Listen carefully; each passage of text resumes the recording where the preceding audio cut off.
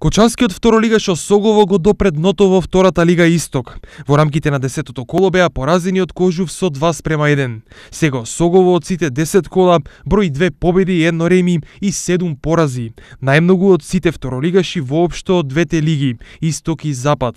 Ваквата лоша состојба кај второлигашот повлече низа реакции кај навивачите за играта, стратезите и воопшто раководењето со клубот. Навивачката група Сејмени веќе излезе и со сообштение.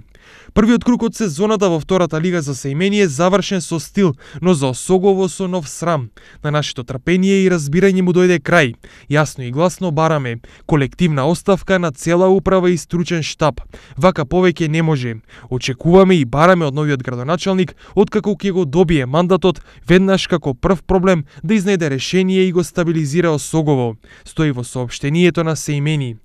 Од друга страна на Facebook страницата на ФК Осогово се појави реакција за надворешни влијанија во клубот од страна на спонзорите и за тоа дека клубот нема постигнато победа на гостински терен од далечната 2004 година.